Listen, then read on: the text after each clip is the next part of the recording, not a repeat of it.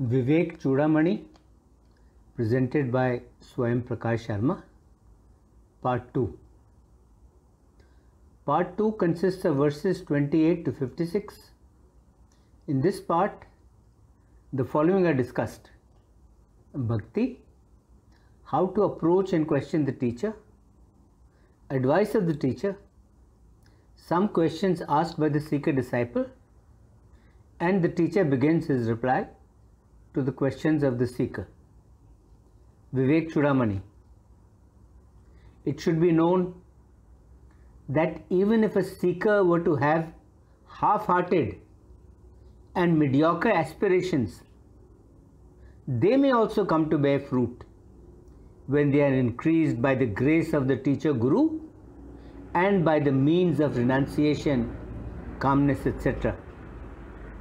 Calmness and other qualities also have their meaning and importance, but they bear fruit only in the person who has an intense spirit of renunciation and who has a burning desire for liberation. In a person who has a weak detachment and a weak yearning for liberation, the qualities of Sam, Dam, and the like become ineffectual. They become as ineffectual as the mirage in a desert. They are of no use at all. Among all the instruments and conditions that are necessary for liberation, Bhakti alone is supreme. Bhakti alone is paramount.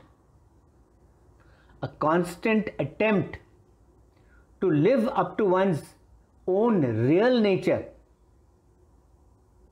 is called single pointed devotion or bhakti, which is the supreme, unquestioned, unmotivated faith and love that seeks no reward.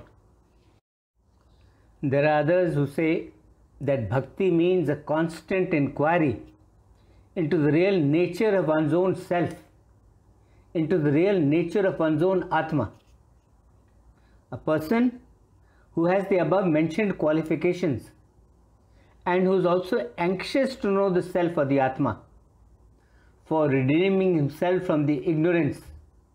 He must therefore serve such a teacher with utmost devotion.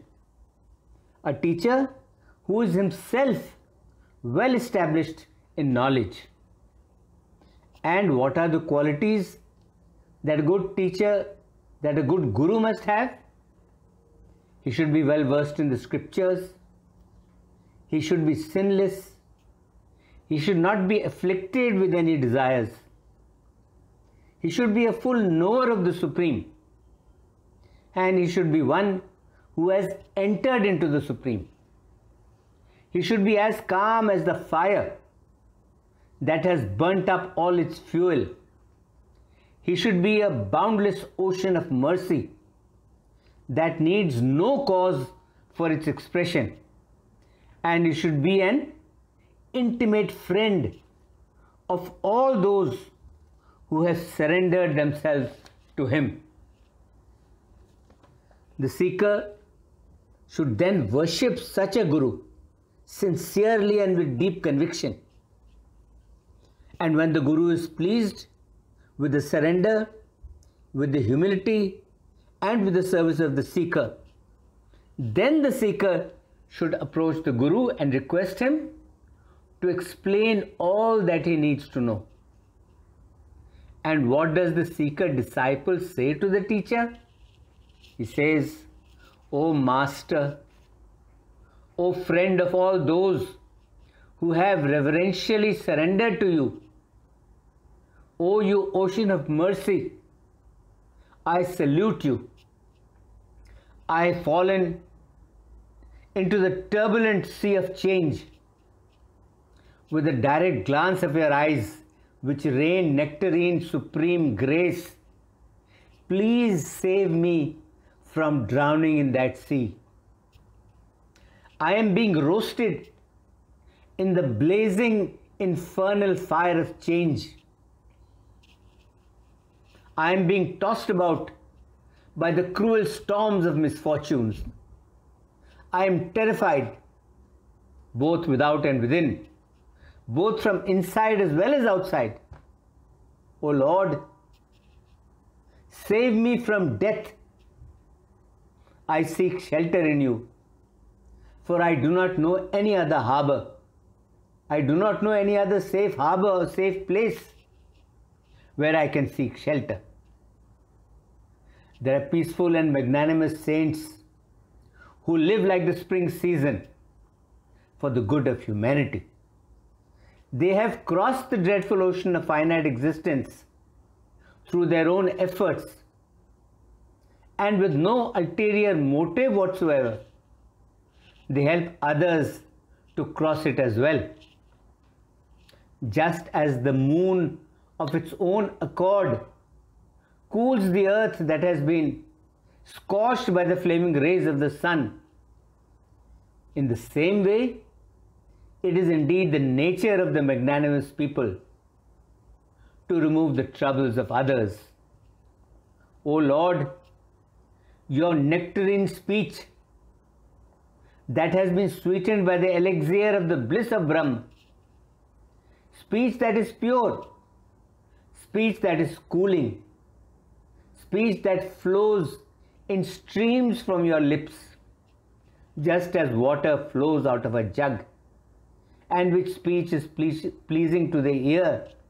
Do you, O Lord, shower upon me, who am tormented by earthly afflictions, as if by the flames of a forest fire. Shower your nectar like speech on me and a glance of your gracious eyes. Blessed are those who have received even a passing glance from your eyes, accepting them under your protection. How to cross the ocean of relative existence? What is to be my ultimate destination? Which of the many ways should I adopt? I know nothing of these, O Lord. Save me and describe to me in full detail how to, the, how to end the misery of this life in the finite existence.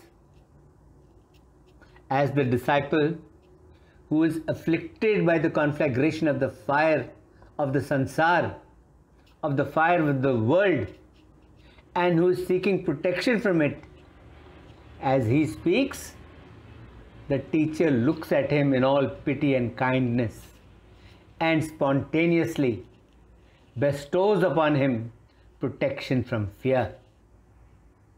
To the seeker who has a burning desire for liberation, who abides by all scriptural injunctions, who has a serene mind, and who is endowed with tranquility, and who has sought refuge in the teacher the teacher, with utmost kindness, should impart all knowledge to such seeker.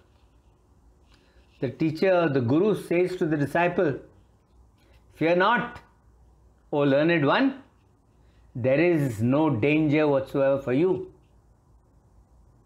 There is indeed a way to cross over the ocean of change. I shall instruct you and tell you about that very path to the beyond, on which path the ancient rishis walked to attain their goal. There is a supreme means by which you can put an end to the fear of relative existence that plagues you. And it is by that means that you will cross the sea of relative existence of the sansar and attain supreme bliss. And what is the means of acquiring the highest knowledge? And how does a person acquire this highest knowledge? Know that this highest knowledge arises in a person from the sincere contemplation upon the true meaning of the mantras of the Upanishads. By this knowledge, all the sorrows that are born of the perception of change all such sorrows get totally annihilated. Faith, devotion, and the practice of meditation These three are mentioned in the songs of the Shrutis as the chief factors that help a seeker to attain liberation.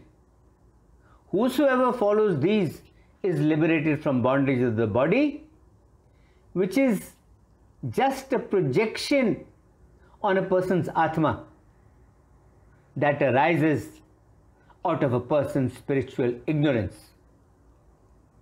It is indeed because of ignorance that you, who are the Supreme Self, who are the Paramatma, that you experience yourself to be under the bondage of the not self, under the bondage of that what is not the Atma. It is from this misunderstanding alone that the worlds of births and deaths proceeds. The worlds of births and deaths are only there because of this understanding. When, however, through discrimination between what is the self or the Atma and what is not the self or the Atma, when through this discrimination true knowledge arises in a person, then all the effects of ignorance, right from the roots up to its trunk and all its branches, they are all burnt down by the blaze of that knowledge.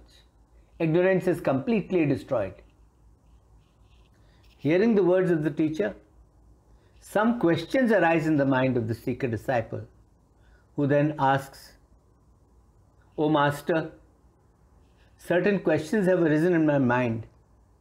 Kindly listen to these questions that have arisen in my mind.